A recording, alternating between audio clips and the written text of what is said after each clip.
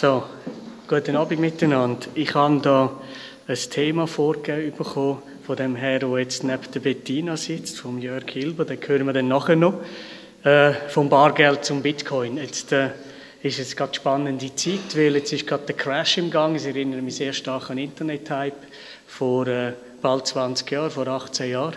Und äh, wie ich weiß, ist das Publikum da innen mehrheitlich eher ein bisschen konservativ eingestellt, aber ich hoffe, ich kann noch ein paar Sachen erzählen. Also die, wo, ich weiß, wer von euch hat überhaupt ein äh, Krypto-Wallet oder ein Bitcoin auf seinem Telefon? Gut, da haben wir mindestens eine Person. Zwei gibt es noch mehr, können wir noch mehr bieten.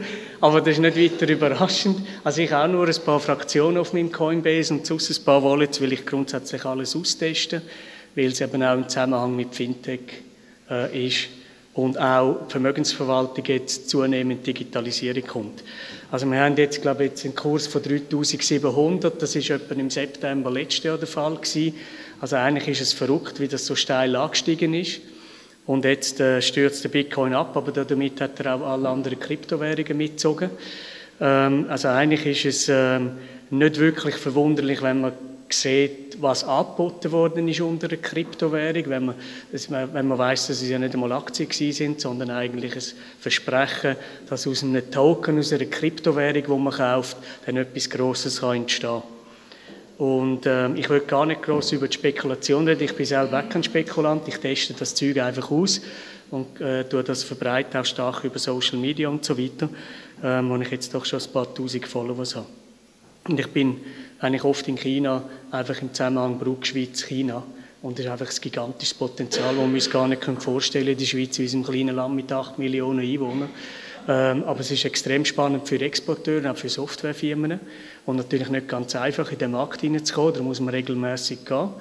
Ähm, aber ich bin eigentlich jetzt mittlerweile schon ziemlich weit gekommen, dass ich hoffe, in den nächsten sechs bis neun Monaten ein erstes Beratungsmandat dort vor Ort kann machen Und wir Schweizer sind einfach sehr geschätzt in China, weil wir sind das erste Land, wo ähm, ein Freihandelsabkommen gemacht hat in Europa und die Chinesen vergessen solche Sachen nicht. Das sind historische Momente für die, weil die auch sonst geschichtlich zurückschauen, was 500 Jahre vorher war. Und das ist eben China Nummer eins in der Welt, in der Wirtschaft und nicht irgendwie Großbritannien oder so. Und die wollen wieder dort hin und das werden die auch erreichen. Äh, vielleicht mal noch ein bisschen mit, mit äh, und dann wieder rauf. Aber das Geschmack mit der Gesellschaft, die sind äh, ganz klar auf das ausgerichtet. Äh, und äh, Tokio ist jetzt neu dazu mit einem neuen Mandat, wo wir das Kunstportfolio ähm, in eine Struktur hineinbringen und dann das auch als Krypto-Tokens offerieren im Markt. Äh, und ich erzähle jetzt einfach ein paar Sachen, dann, wo das angeht, weil ohne den Hype, den wir jetzt hinter uns gehabt hätten, hätten wir jetzt eben auch die Innovation nicht. Und das war genau so gewesen vor 20 Jahren im Internet-Hype. Wir hätten auch nicht all das Mobile Banking, das wir heute hätten, weil dann hat es angefangen. Dann haben wir die Bandbreite noch nicht gekauft, die Smartphones. Haben wir noch mit WAP-Protokoll geschafft. Das war ja unbrauchbar gewesen. Das haben wir dann relativ gleich gemerkt. Darum hat es sich auch nicht durchgesetzt. Und was sind jetzt Gründe vom Crash? Es gibt verschiedene Gründe. Die einen können sein, dass es eine Absplitterung gibt vom Bitcoin Cash in der SV rein. Und, und das ist ein Grund. Dann gibt es immer neue Kryptowährungen, die brauchen Rechnerleistung. Das verteilt sich dann noch mehr. Das ist auch äh, natürlich dann schwierig. Und jetzt durch den Kursverfall hat es immer mehr Miner, die aufgegeben haben. Wir reden von Tausenden, die ihre Rechnerzentrum abgestellt haben. Und dann verkaufen natürlich sehr viele Bestände, weil sie brauchen auch Geld. Das heißt, es wird wieder ein Teil wahrscheinlich zurückgewandelt in äh, sogenannte Fiat-Währung, also was wir heute kennen, Dollar, Schweizer Franken und so weiter. Und es ist ein extremer Religionskrieg unter diesen verschiedenen Fraktionen. Also wenn man da im Crypto Valley ist, äh, ist es vielleicht noch ein bisschen weniger der Fall, weil die sind ein bisschen mehr äh, bodenständig und wollen Plattformen entwickeln. Aber grundsätzlich gibt es da verschiedene Lager und das hilft natürlich nicht, dass sich alles so äh, schlank weiterentwickeln. Und dann redet man auch davon, dass beim äh, Top-Peak von letztes Jahr bei 20.000, oder wann ist das gewesen? Im Januar noch, ist eigentlich unglaublich. Das ist erst vor kurzem gewesen, dass da auch Preismanipulationen stattgefunden haben. Da tut auch das SEC, die amerikanische Aufsichtsbehörde, mittlerweile ähm, untersuchen. Und die Engländer sind jetzt auch seit Wochen dran, mit dem FCA zu schauen, ob da nicht irgendwo ähm, Firmen unterwegs sind, die sich nicht an die Regeln gehalten haben vom Finanzmarktrecht und Investorenschutz berücksichtigt haben. Und in China ist es ja so, die haben die Kryptowährung gerade mal grundsätzlich verboten. Weil die haben dort einfach in China eine andere Einstellung. Alles, was nicht reguliert wird, wird ausgenutzt. Da wird einfach Forschung gemacht und da werden Service und Dienstleistungen angeboten, die man bei uns in Europa wahrscheinlich eher mal zurückhalten weil man sagt, es holt uns ja dann nachher wieder rein. Und in China ist das anders. Die gehen dort voran in der Grauzone, wo wir uns nicht würden bewegen Und das ist halt, äh, weil die auch ein extremes Unternehmertum in sich haben. Also wenn es jetzt weiter noch Kursverlust gibt, wovon ich ausgehe, das weiß ich auch nicht genau, was enden wird, ist mir eigentlich am Schluss gleich, solange die guten Sachen, die ich nachher darüber erzählen kurz, auch übrig bleiben. Dann kann das noch auf 2000 Dollar runtergehen, vielleicht bleibt es auch bei 3000 stehen. Der, der Bitcoin mit dem restlichen Markt, die kann man immer nachschauen auf CoinMarketCap, für die, die das interessiert. In der letzten Zeit natürlich immer sehr rot. Aber das wird jetzt natürlich auch sehr viel treffen, die gute Absichten haben und Software entwickelt haben äh, oder dran sind, äh, wo gezahlt worden sind in Kryptowährung, die jetzt natürlich auf einmal zu wenig Stütze haben. Sprich, weil halt äh, der Umrechnungswert nicht mehr dem entspricht, was man erwartet hat, weil man ja redet ja oft von äh, Hodl. Hodl kommt von Hold, also die erhalten und die sind jetzt natürlich bösartig äh, auf die Welt gekommen und viele von denen, die ich einmal frage, die haben auch den Internetbubble nicht äh, nicht erlebt. Und ich habe halt den ersten Crash schon im Oktober 87 erlebt und ein paar von euch wissen auch nicht, wie das dort abgelaufen ist. Da bin ich Junior-Devisenhändler und die Märkte haben immer funktioniert. Und jetzt da sieht man natürlich, dass Marktliquidität auch noch ein Problem ist dazu. Jetzt ist aber, es geht um viel mehr als um Krypto und Bitcoin. Es gibt fundamentale Veränderungen und die haben sehr starken Einfluss oder begründet sich auf den Finanzcrash, wo jetzt das zehnjährige Jubiläum von sich hat. Und wir reden andererseits von Plattformökonomie, von Amazon, Facebook und anderen. Und in China ist das bereits Realität. Das ist darum auch so faszinierend, weil China das fertig bringt, was andere Länder wahrscheinlich viel länger brauchen. 1,3 Milliarden Leute digitalisieren. Da hat nachher jeder eine Identität und mit einer digitalen Identität kannst du einfach viel schneller Geschäft machen. Da kannst du nachher die Häuser so äh, vom einen zum anderen überschieben und das läuft alles über, über die äh, mobilen digitalen Plattformen ab. Und es, es geht eigentlich darum, dass wir jetzt Digitalisierung immer mehr richtig grosse Ökosysteme bringen und die Zukunft wird die dezentrale Wirtschaft sein.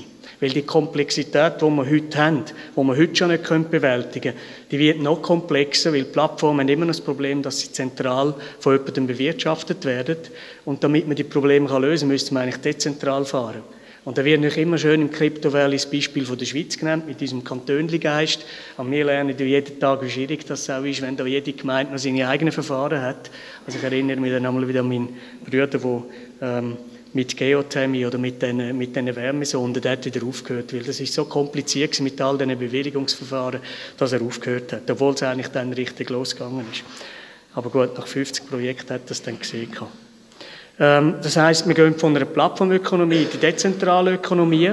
Das findet momentan statt von der Entwicklung, gerade äh, zum Beispiel im Crypto Valley, also im Kanton Zug und auch in der ganzen Schweiz. Wir haben eine extrem gute Voraussetzung, um da Lösungen zu bieten, wo in anderen Ländern zuerst noch müssen, überhaupt die Kapazitäten gefunden werden und die, und die Intelligenz und gleichzeitig, dass äh, das ähm, überhaupt kann umgesetzt werden von Spezialisten. Und jetzt redet man ja, nebst dem Bitcoin, das ist eine Kryptowährung, redet man natürlich von verschiedenen Arten von diesen sogenannten äh, Tokens, Krypto-Tokens. Da gibt es jetzt Security-Tokens, also eigentlich Wertschriften. Und äh, die, die Schweiz, die FINMA, ist da eigentlich relativ äh, pragmatisch unterwegs mit der Beurteilung. Die meisten werden aber in Zukunft als, als Wertschrift betrachtet, sprich als äh, werthaltende Einheit, ein Wertpapier, eine Aktie, wie auch immer. Und das sieht auch das SEC so in Amerika. Und in den meisten Ländern wird sich seit die gehen. Also alles andere, was so Payment Tokens sind, Utility Tokens, wird wahrscheinlich eher ähm, eine Randerscheinung bleiben. Und, und was jetzt eben zunehmend passiert, ist auch die Schweizer Börse, ZIX und viele andere, kaum hat das angekündigt, Anfang Juli diesem Jahr, dass sie Digital Asset Plattform baut, sind dann auch in Amerika andere Börsen nachgezogen, unter anderem New York Stock Exchange und weitere.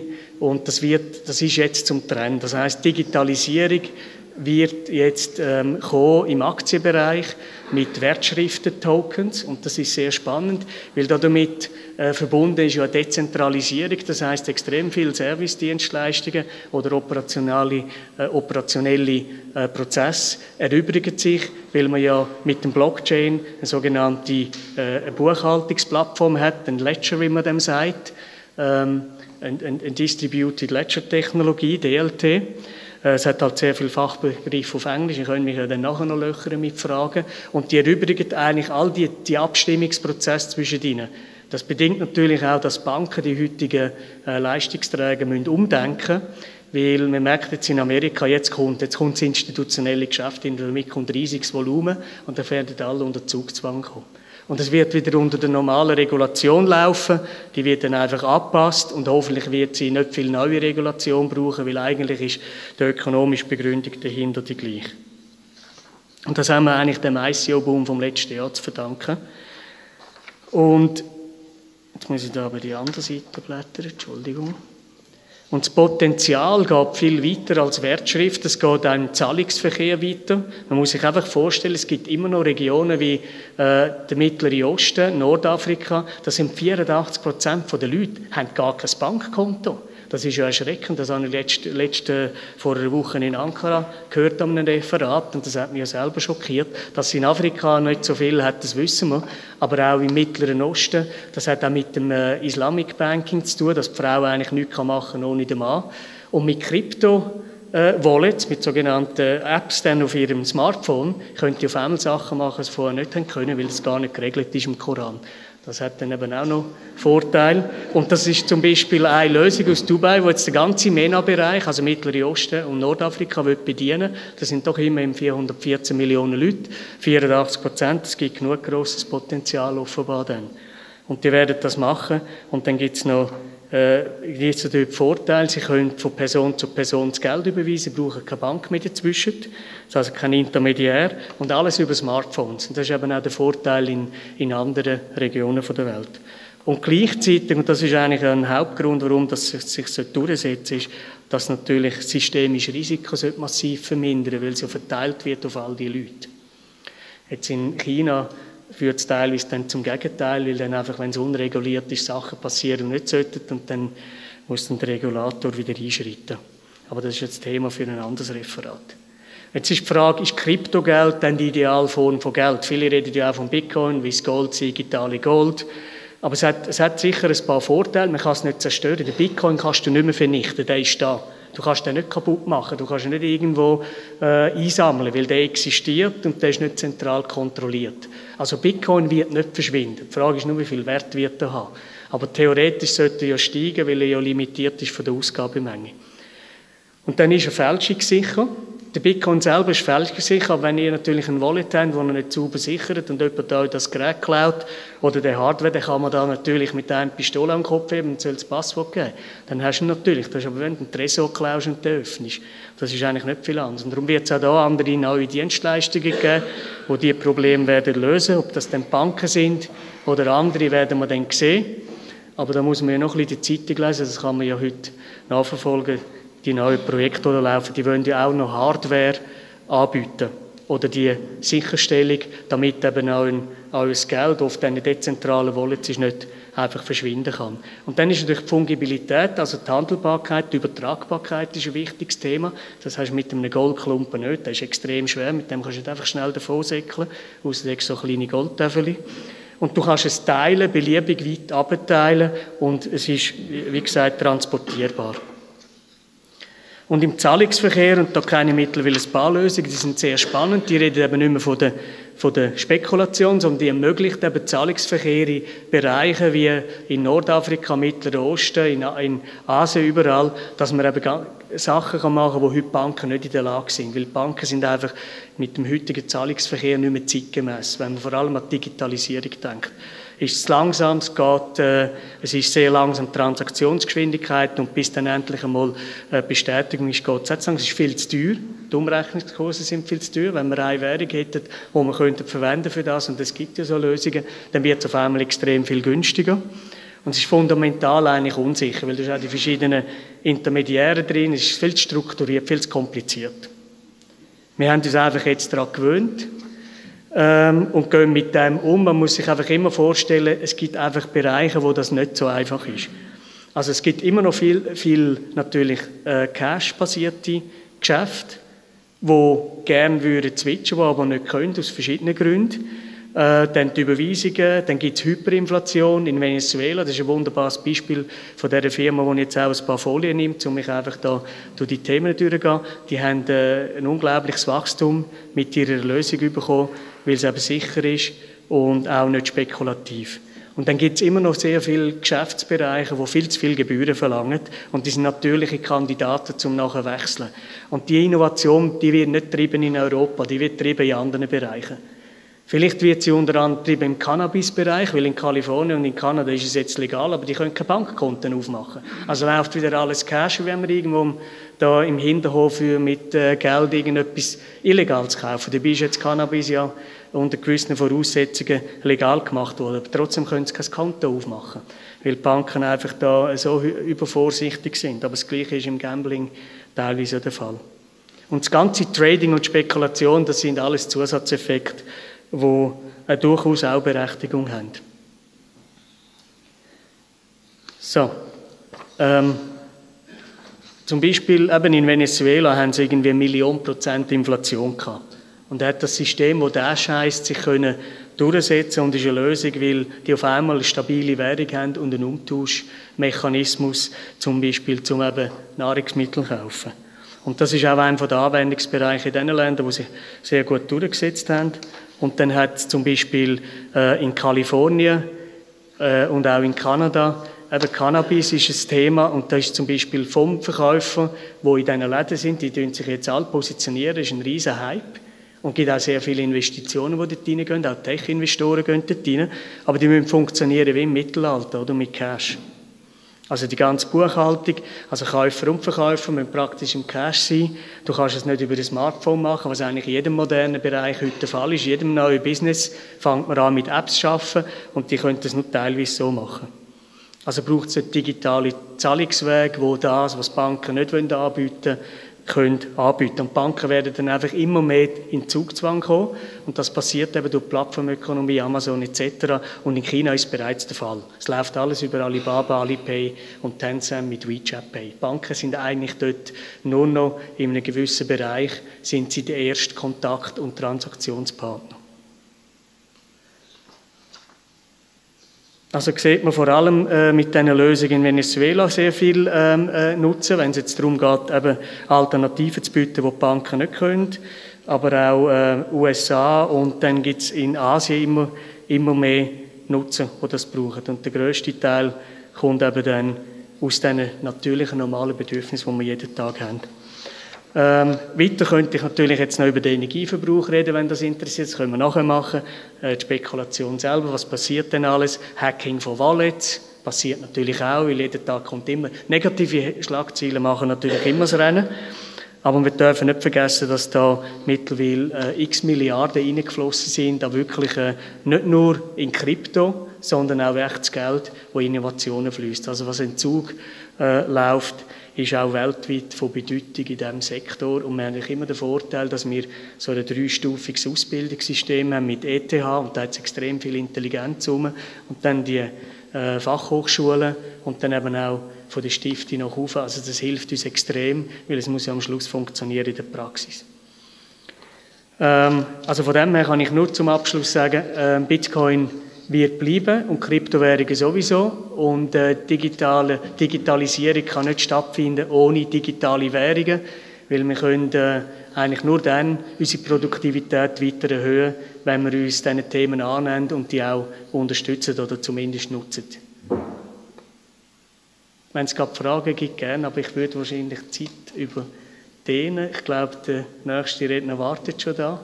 Aber wenn es gerade etwas Dringendes gibt, da vorne gibt es schon Fragen das Thema Inflation, also ich finde es schön, wie du das dargestellt hast, aber ich glaube, ihr verwendet das falsch.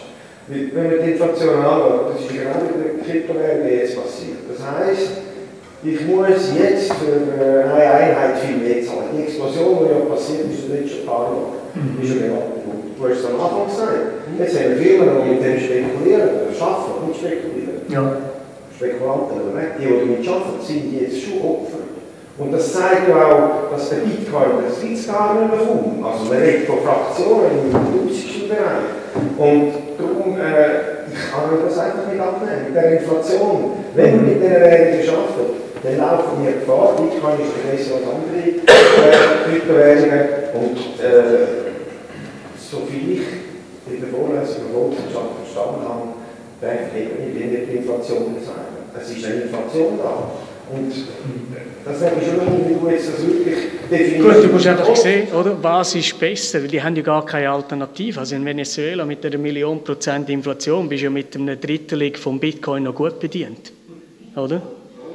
Also, und das ist eben, oder darum ist es bei uns, wir können nur darüber schmunzeln, lachen und die meisten haben wahrscheinlich noch Schadenfreude, dass jetzt alles abgegangen ist. Aber mir ist eigentlich das Fundamentale wichtig. Ich bin ein plattformtriebener Mensch. Oder? Für mich geht es darum, was führt jetzt zur nächsten Evolution in der Technologie, im Fortschritt. Und darum glaube ich, äh, äh, wird das kommen, vor allem in unstabilen Ländern. Oder? Die haben nicht die Demokratie und das Verständnis wie bei uns. Und es wird natürlich auch so sein, dass es auch bei uns, und man sieht es, oder, die unterschiedlichen Weltansichten, die heute möglich sind, die führen natürlich dazu, dass wir immer mehr so Stammesverhalten haben, oder? Da gibt es ja auch verschiedene äh, äh, gute Vorträge von verschiedenen Exponenten. Und das wird auch dazu führen, dass die Gesellschaft sich unterschiedlich wird bewegen und das wird zu einer grossen Herausforderung werden für unser demokratisches System. Darum glaube ich auch, dass China einen grossen Vorteil hat. Also es ja keine Wertschöpfung, da ist es wenig Wertschöpfung. Mhm. Äh, wie geht denn das mit Bitcoin? Das habe ich nie ganz verstanden, was ist eine Wertschöpfung daraus? Ja, das ist, da gibt es fundamental unterschiedliche Ansichten. Es ist wirklich der Glaube daran. Es ist der Glaube daran, das System, dass es dezentral ist und so weiter. Oder? Da wäre es noch gut, wenn der Adriano noch da wäre, der Lucatelli, weil der, ist so, der hat eine ganz klare Meinung dazu. Aber es ist effektiv so, da hat es einfach Leute, die daran glauben. Es gibt heute noch die Fundamente, das sind schon fast Fundamentalisten. Ich bin da super pragmatisch, ich, bin, ich habe schon genug erlebt. Und mir ist einfach die Internetbubble in gefahren. Äh, also, ich bin nicht verlumpert dran, aber, aber es ist schon massiv, wenn du dann spürst, wie auch dort die Wertschöpfung offenbar auch nicht rum war oder zu wenig rum war. Aber aus dem heraus ist Amazon, Google stark geworden äh, und wahrscheinlich schlussendlich ist dort auch irgendwo die Urgedanke äh, von Facebook entstanden, oder? Gut, ich glaube, jetzt mit dem sollten wir äh, mal einen Unterbruch machen. Wir haben zwar dort hinten noch eine Frage, die letzte dann. Ja. Also, es gibt ja es gibt ja die Blockchain, die Technologie von Tangle, wo wir ja mit IOTA äh, einen mittlerweile Vertreter haben ähm, Sehen Sie mehr, will es schon Aussage machen, sehen Sie mehr Potenzial für Blockchain-Technologie, für die Kryptos von der Blockchain-Technologie oder eher für die Technologie vom, vom, vom Tangle? Jetzt habe ich das zweite nicht verstanden. Also Blockchain-Technologie sicher ja. Und was haben Sie noch gemeint? Was? Ja? Es gibt, es, gibt, es, gibt zwei, es gibt zwei Technologien. Das eine ist eben die Blockchain und die meisten Kryptos darauf basieren. Das andere ist der Tangle. Also der IOTA hat ja keine Blockchain, sondern einen Tangle. Ah, wie jetzt von Tangle, oder wie? Ich verstehe das gar nicht. Das sagt mir jetzt nichts, ehrlich gesagt. Wenn wir das nachher mal aufnehmen. Sorry, ich habe zwar die allerneuesten Phonag-Hörgeräte, die noch gar niemand kann tragen kann, weil ich der erste Träger bin im Ohr. Aber ich habe das jetzt echt nicht verstanden akustisch. Müssen wir erst mal das Mikrofon haben. Danke für die Aufmerksamkeit.